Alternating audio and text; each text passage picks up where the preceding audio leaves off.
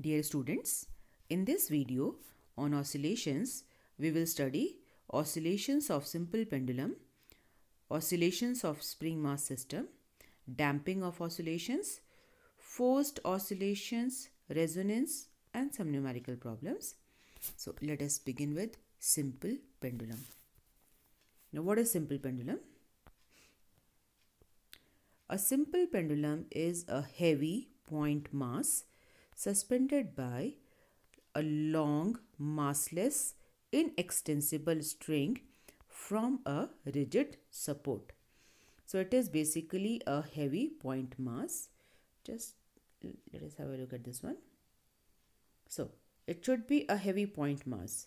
So instead of having a point mass, we take a heavy bob and it is suspended by a long inextensible string.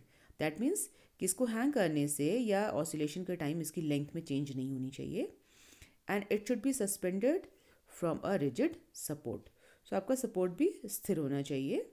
And the length of simple pendulum is taken from the point of suspension to the centre of the bob this is called length of pendulum okay. And the length of the simple pendulum is the distance between the rigid support that is the point of suspension and the center of mass of the bob and oscillations of simple pendulum so let us have a look okay so let it be the mean position जब आपका pendulum motion में नहीं है mean position में है it's the weight of the bob acts downwards you can see the weight of the bob mg acts downwards in mean position. And then there will be tension in the string in upward direction. And you can see there is no motion here. That means this tension must balance this weight. So t is equal to mg tension is equal to weight of the bob. But what if it is set into oscillation? See this is the mean position. Length of the bob is l. And the pendulum goes to the other side you see. See uh, let the angular displacement is theta. It has been displaced through angle theta. And linear displacement is y. This is a very small displacement. Theta is small. Okay? Now the weight of the bob will act downwards. See, weight always acts vertically downwards. So, weight will be vertically downwards and we resolve this weight. Okay, tension in the string along the length of the string, tension in the string and now just look at it, you see. We can resolve this weight along this string and perpendicular to a string. So you can see, okay, if you look at this situation, say this is a vertical line, this is also a vertical line, vertical line, vertical line, and this is the straight string. So ये वाला angle और ये वाला angle corresponding angles हो जाएँगे equal angles होंगे so theta each and आपको पता है कि एंगल के साथ वाला कंपोनेंट हमेशा कॉस होता है that means this component should be M G cos theta और एंगल से अवे वाला कॉम्पोनेंट साइन होता है so that will be M G sine theta so see this component is M G cos theta as you can see and the other component is M G sine theta now ये जो m जी cos theta है, वो इस tension T को balance करेगा, और ये जो एम जी साइन थीटा है, ये इस बॉब को पुल करके इधर लाने की कोशिश करेगा टूवर्ड्स द मेन पोजीशन और आप ये देखो कि डिस्प्लेसमेंट की डायरेक्शन ये है और एम जी साइन थीटा की डायरेक्शन अपोजिट डायरेक्शन में है. That means this M G sine theta is behaving like a restoring force M G sine theta जो है, इस बॉब को मीन पोजीशन पर लाने की कोशिश करता है और डिस्प्लेसमेंट की अपोजिट भी है. तो M G sine theta should be the restoring force so let's see how we write it now. You, you can see all the angles now. Okay. No the same thing will happen when we go to the other side अब अगर pendulum इधर चला गया। When pendulum goes here weight will act vertically downwards और अब M G sine theta की direction ये हो जाएगी। तो जैसे पहले एम जी साइन थीटा इधर था अब एम जी साइन थीटा इधर की तरफ़ हो जाएगा और ये जो है इसको मीन पोजीशन पर लाने की कोशिश करेगा। और यहाँ पर डिस्प्लेसमेंट की डायरेक्शन ये है। तो आप देखो कि दोनों side M G sine theta restoring force की तरह काम कर रहा है और डिस्प्लेसमेंट के अपोजिट भी है। So now you can have a look here no see यहाँ पर आप देखो this force is always towards the centre इसी के लेफ़्ट जाए तो भी राइट right जाए तो भी। देखो force is always towards the mean position ठीक है? और ये वाला फोर्स आपको देखो एम जी साइन थीटा के जैसा लग रहा है राइट और इस तरीके से now we can write the derivation part so at mean position the tension in the string is equal to weight of the bob M G and at displacement Y इस डिसप्लेसमेंट पर the angular displacement जिससे this angle will be equal to this arc upon radius l so y upon l ठीक है the component of weight mg sine theta is directed towards the mean position so it is restoring force so mg sine theta is restoring force okay and now look at it so restoring force F is equal to mg sine theta and that is equal to mg or sine theta की value is uh, angle this angle theta is very very small. So, sine theta can be written as theta. जब angle बहुत छोटा होता है तो sine theta की value theta के बराबर होती है। And theta is equal to Y upon L right अब यहाँ देखो I have written minus Y upon L because direction of force and displacement are opposite आप ये देखो, यहाँ पर if you look at here at this place तो force और डिस्प्लेसमेंट की डायरेक्शन अपोजिट है। सो so, यहाँ पर फोर्स है तो डिस्प्लेसमेंट की जगह हमने लिखा है माइनस वाई राइट सो हमने एंगल थीटा की वैल्यू डाल दी and from here now I can write F is equal to take this minus side to this So minus mg upon L. Just rearrange it into y. Now mg upon L is constant. So I can write it as minus ky. और हमने लिख दिया force is equal to minus K Y that means force is proportional to minus Y और force is proportional to minus Y है तो ये जो है सिंपल हार्मोनिक मोशन की नेसेसरी कंडीशन हो गई। That restoring force is proportional to displacement from mean position and opposite in direction so the pendulum will execute simple harmonic motion right और यहीं से, अगर यहाँ से देखो कंपेयर करो तो के की वैल्यू है M G upon L so just change the sides and I get m upon k is equal to L upon g.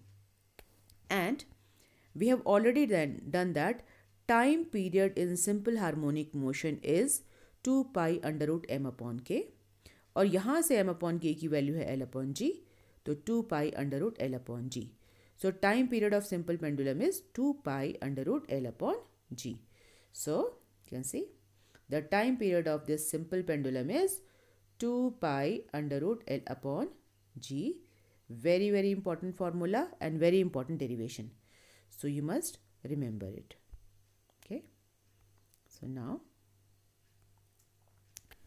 some discussion about this simple pendulum only now the time period of simple pendulum for small amplitude amplitude हमने छोटा लिया है theta की value हमने छोटी ली थी is two pi under root L upon G तो यहाँ से आप देख सकते हैं कि time period is independent of mass of the body आपको यहाँ फॉर्मूला में कहीं भी मास नहीं आ रहा है तो आप छोटा बॉब ले लीजिए या बड़ा बॉब ले लीजिए किसी भी शेप और साइज़ का बॉब ले लीजिए time period does not change time period depends on length only time period is proportional to under root L. So when L is increased, time period increases. That means कि आपके पास एक छोटा pendulum है और एक बड़ा पेंडुलम है तो छोटा पेंडुलम बहुत तेज़ी से उसका टाइम पीरियड कम होगा, बहुत फास्ट फास्ट फास्ट फास्ट वो ऑसिलेट करेगा और बड़ा पेंडुलम स्लो करेगा क्योंकि उसका टाइम पीरियड ज़्यादा होगा। And time period also depends on acceleration due to gravity so if acceleration due to gravity increases time period will decrease and we have a very special pendulum called seconds pendulum now it is the pendulum whose time period is two second जिस pendulum का time period two second है उसको हम कहते हैं second pendulum and I can write the relation for time period two pi under root L upon G and this is equal to two so from here you can see this two and two cancelled out square both the sides you get pi square L upon G is equal to one और आपने square कर दिया तो यहाँ से just change the side this L will be equal to G upon pi square आप G की value डाल दीजिए नाइन पॉइंट एट और पाई स्क्वायर की value that is also about nine point eight only it comes out to be zero point nine nine six metre और it is nearly one metre और ninety nine point six centimetre so length of simple pendulum seconds pendulum is ninety nine point six centimetre और nearly one metre तो आपने one metre long string के end पर एक छोटा सा bob अगर लगा दिया है तो उसका टाइम पीरियड टू सेकेंड होगा। Length of second pendulum is about one metre this this is a second pendulum can see now, oscillations of spring mass system. Supposing कि हमारे पास ये let us take a horizontal table frictionless table है, और इस पर हमने spring लगा दिया है मास के साथ। So what we have done इस मास को हमने इधर पुल करके छोड़ दिया और उसके बाद ये ऑसिलेशन में सेट हो जाता है। So if this is the mean position आप देखो कि मीन पोजिशन से लेफ़्ट राइट right, दोनों साइड में ये एक्सटेंड होता है कंप्रेस होता है। This is the mean position and when the displacement is X जब डिस्प्लेसमेंट इधर की तरफ़ है तो फोर्स इधर की तरफ़ एक्ट करता है। जब डिस्प्लेसमेंट इधर है तो फोर्स इधर एक्ट करता है अपोजिट डायरेक्शन में restoring force so restoring force can see F is equal to minus K X and यहाँ भी restoring force will be F is equal to minus K X only क्योंकि जब x इधर है तो फोर्स इधर है, और जब एक्स इधर है तो फोर्स इधर है, ठीक है? And in this situation restoring force F is equal to minus K X and the time period is 2 pi under root m upon k. m is mass of this body and k is spring constant of the spring. Okay. And what if the spring is vertical? अगर spring का oscillation vertical है तब क्या होगा see if this is the mean position आप देख सकते हो कि मेन पोजीशन से ऊपर भी जितना जाता है और नीचे जितना जाता है। है। सी कंप्रेशन एल और एक्सटेंशन भी एल ही हो रहा है। ठीक है?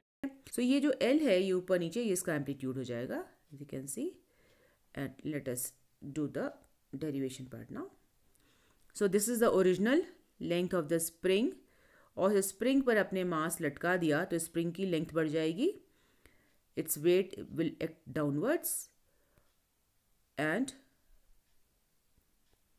the increase in length is L आपने ये वेट लटका दिया, इसकी लेंथ में इंक्रीज एल आ गया है, ठीक है? और क्योंकि ये नीचे पुल हो रहा है तो इस स्प्रिंग में एक रेस्टोरिंग फोर्स ऊपर की तरफ़ आ जाएगा and that restoring force F is equal to minus K L आपको ये हुक्स लॉ पता है तो F is equal to minus K X और के वाई यू हैव डन तो यहाँ पर एक्सटेंशन एल है so F is equal to minus K L okay ना this is the mean position ये स्प्रिंग पे ये केवल लटका हुआ है और ऑसिलेशन नहीं कर रहा है। Now what we do it do is इसको थोड़ा सा पुल करके आप छोड़ दीजिए। So now it is pulled further through some distance Y देखो, अब हमने इसको एक वाई डिस्प्लेसमेंट दे दिया मीन पोजीशन से। और वाई डिस्प्लेसमेंट दे दिया है तो अब यहाँ पर हमारा रेस्टोरिंग फोर्स चेंज हो जाएगा और अब इसको ऊपर नीचे ऊपर नीचे ऑसिलेशन करना है as happening here so now you can see restoring force. Now see, the total extension in the spring is L plus Y. So restoring force is minus K L plus Y ठीक है and अब ये spring ऊपर नीचे, ये वाला spring ऊपर नीचे ऑसिलेट करेगा like this one right so let us look at mathematical part ऐसे at mean position the net force is zero see इस वाली सिचुएशन में जब ये ऑसिलेशन में नहीं था, तब इस पर नेट फोर्स ज़ीरो है। दैट मीन्स जितना फोर्स ऊपर, उतना फोर्स नीचे, और total force is zero so F plus M G is zero no F is equal to minus K L plus M G is zero so M G is equal to K L okay no for displacement Y अगर displacement हमने Y ले लिया तो अब हमारा net force क्या हो जाएगा? ये वाला force plus M G so that is minus K L plus Y plus M G and when you open the bracket, you get minus kl here or plus mg here. or minus kl plus mg is 0 and then you will get minus K Y also so F is equal to minus K Y इतना ही बचेगा हमारे पास net force and since F is proportional to Y means restoring force is proportional to Y and opposite in direction so that means the spring will execute simple harmonic motion ये simple harmonic motion की necessary condition आ गई and जब ये आ गई तो अब हमारे पास टाइम पीरियड के लिए वही फार्मूला है time period is two pi under root M upon K so I have to find out this value of M upon K and if you go back to this relation equation number one so यहाँ से M upon K की वैल्यू होगी L upon G just in the side M upon K is equal to L upon G so we can put the value of m upon k in this relation. So time period is 2 pi under root L upon G. और ये आपका simple pendulum का भी यही formula है. सो so, अगर spring horizontal surface पर है तो time period two pi under root M upon K, और वर्टिकल ऑसिलेशन कर रही है तो two pi under root L upon G. Okay so now if we take combinations of springs अगर हमने दो या तीन स्प्रिंग्स को जोड़ दिया तो क्या होगा? Now first let us start with series combination so series combination में I have taken one spring two spring इनको एक साथ हमने सीरीज़ में जोड़ा है। और यहाँ पर एक वेट लटकाया हुआ है एम जी ठीक है? Now can see supposing extension in the first spring. Extension in the first string and the second string are y1 and y2 है ना? इस वेट की वजह से पहली दूसरी स्ट्रिंग में एक्सटेंशन y1 y2 हो गए और रेस्टोरिंग फोर्स इज़ f. देखो, ये रेस्टोरिंग फोर्स f है और क्योंकि इनका लाइन ऑफ़ एक्शन सेम ही है तो यही वाला रेस्टोरिंग फोर्स ऊपर वाली स्प्रिंग में है के वन जिसका स्प्रिंग कांस्टेंट है, और सेम रेस्टोरिंग फोर्स नीचे वाली स्प्रिंग में है, जिसका फोर्स कांस्टेंट के टू है right so let us write the relations now so extension in the springs are y1 and y2 y1 and y2 and net displacement is y1 plus y2 अब इस spring का the total extension है, या total displacement हो गया, वो y1 plus Y two है right and then restoring force f. ये this f is equal to minus K one Y one for पहली वाली स्प्रिंग के लिए and minus K two Y two for the second spring और f दोनों के लिए सेम होगा. सो so, इन इस इक्वेशन से हम y1 वन वाई टू की वैल्यू निकाल के इक्वेशन नंबर वन में डाल सकते हैं. Just to get it what we do is कि इस वाली इक्वेशन से हमने y1 की वैल्यू निकाली. Y1 is minus F upon K one and Y two is minus F upon K two और इसकी वैल्यू हमने इक्वेशन नंबर वन में डाल दिया। So total displacement Y is equal to minus F upon K one plus minus F upon K two ना minus F is common so minus F common ले लीजिए। Bracket में बचेगा one upon K one plus one upon K two now for the combination F is equal to minus K Y क्योंकि net extension Y है और net force F ही है तो F is equal to minus K Y where K is equal to equivalent spring constant of the combination अगर इस combination को हटा के हमारे पास एक सिंगल स्प्रिंग होती, और तो उसका स्प्रिंग कांस्टेंट के होता, और हमें ये फॉर्मूला मिलता। So now we will put the values so यहाँ से y is equal to F upon minus K और माइनस एफ़ अपॉन के ये वैल्यू हमने इस यहाँ पर डाल दिया। So minus F upon K is equal to minus F into one upon K one plus K two and minus F is cancelled on both the sides so we get one upon K is equal to one upon K one plus K two और K is equal to K one K two upon K one plus K two ये इस combination का effective spring constant आ गया। और हमारे पास time period का वही रिलेशन है। Time period is two pi under root M upon K S H M में यही रिलेशन होता है। So two pi under root M और अपॉन के की वैल्यू हमने डाल दी यहाँ से। So you get under root M K one plus K two upon K one K two so this is relation for time period in series combination और थोड़ा सा याद रखने के लिए आपको बता दें कि इफ़ यू रिमेंबर कि रेसिस्टेंसेस के जब सीरीज़ कॉम्बिनेशन होते हैं तो आपको मिलता है relation R one plus R two और पैरेलल कॉम्बिनेशन में मिलता है आपको one upon R one plus one upon R two तो जो यहाँ पर उल्टा हो गया, जो रेसिस्टेंस के लिए पैरेलल है, ये यहाँ पर सीरीज़ मिलेगा और थोड़ी देर बाद आप देखोगे कि जो इसका सीरीज़ है, वो वहाँ पर पैरेलल हो जाएगा. So it is easy to remember that way. so let us take parallel combination of springs so if you have taken this parallel combination see हमने लिया है दो स्प्रिंग्स जिनकी लेंथ बराबर है स्प्रिंग कांस्टेंट अलग अलग हैं और एक्सटेंशन दोनों का बराबर है y and now they will have different restoring force in the strings in the springs so restoring force in this one is F1, restoring force in this one is F2 and now extension in the springs is Y. So restoring force अब rest देखो ये वाला force F1 और ये F2 ये दोनों का line of action अलग अलग है so the total restoring force will be sum of these two so the total restoring force is F1 plus F2 and F1 you know the relation for springs so f1 will be equal to minus k1y and f2 will be equal to minus k2y and let us put the values of f1 f2 in equation number 1 so we get f is equal to minus k1y plus minus k2y take minus y common so minus is common here and y here so f is equal to minus k1 plus k2y now अगर इस combination का हमने equivalent spring ले लिया extension तो Y है तो उसके लिए रिलेशन हमें मिलेगा F is equal to minus K Y where K is equivalent spring constant of the combination तो ये वाली एफ़ की वैल्यू हम यहाँ इस इक्वेशन में डाल देंगे।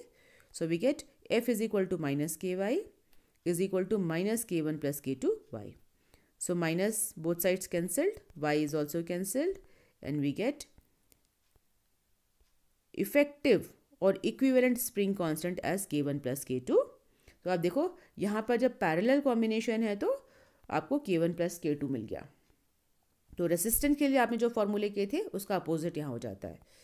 And now the time period is you can see two pi under root M upon K the value of K is K one plus K two so this is the time period अब यहाँ पर अगर हमने इसको vertical show किया हुआ है, अगर इसको हम एक हॉरिजॉन्टल टेबल पर भी कर देंगे तो we will get the same result अगर हम हॉरिजॉन्टल भी ये दो दो स्प्रिंग्स को ऐड कर देते हैं इस तरीके से, तब भी आपको सेम रिज़ल्ट ही मिलेगा। एंड नाउ डैम्प्ड ऑसिलेशंस ना जिस भी मीडियम में आप ऑसिलेशन करा रहे हैं, वहाँ पर फ्रिक्शन होता है और फ्रिक्शन की वजह से एम्पलीट्यूड कम होता चला जाता है। So amplitude of oscillation of a body decrease with time due to frictional forces applied by the viscous medium like air and liquid and such oscillations are called damped oscillations. जब कोई भी body oscillation में है oscillate कर रही है तो friction की वजह से एनर्जी का लॉस होगा और थोड़ी देर के बाद इसका एम्पलीट्यूड कम हो जाएगा और फाइनली ये रुक जाता है। तो इनको हम कहते हैं damped oscillation and see so if you look at displacement and time तो पहले एम्पलीट्यूड ज़्यादा है, फिर एम्पलीट्यूड कम हो जाता है, फिर और कम और कम, और फाइनली बॉडी रुक जाती है। This happens due to friction of the medium okay क्योंकि एनर्जी का डिसिपेशन है एनर्जी का लॉस है and let's talk about natural frequency okay so when a body is allowed to oscillate on its own without application of external forces its frequency is called natural frequency of the body आप किसी भी बॉडी को simple pendulum है इसको आप एक तरफ़ ले जाके और इसको छोड़ दीजिए और इसको अपने आप ऑसिलेट होने दो। सो so, उसकी जो फ्रीक्वेंसी होगी वो इसकी नेचुरल फ्रीक्वेंसी होगी। Okay see. Look there is no force acting on this one so यहाँ पर this oscillation is with natural frequency और ये स्प्रिंग अपने आप ऑसिलेट हो रहा है स्प्रिंग मास सिस्टम तो ये इसकी नेचुरल फ्रीक्वेंसी है। Right and now look at this यहाँ पर इस देखो इस बच्चे को पीछे से धक्का दिया जा रहा है।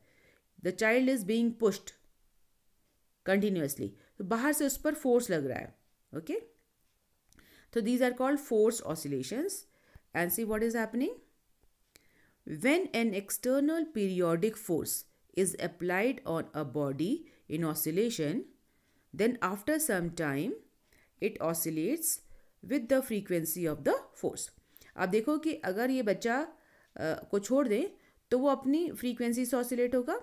लेकिन पीछे से आपको रेगुलर धक्का इसको मिल रहा है रेगुलर फोर्स मिल रहा है that is periodic force so अब इसके जो स्विंग का ऑसिलेशन होगा, वो इस फोर्स की फ्रीक्वेंसी से हो रहा है। So such oscillations are called forced और driven oscillations and the force is called driver force ये जो फोर्स यूज़ कर रहे हैं, इस फोर्स को हम कहते हैं ड्राइवर फोर्स एंड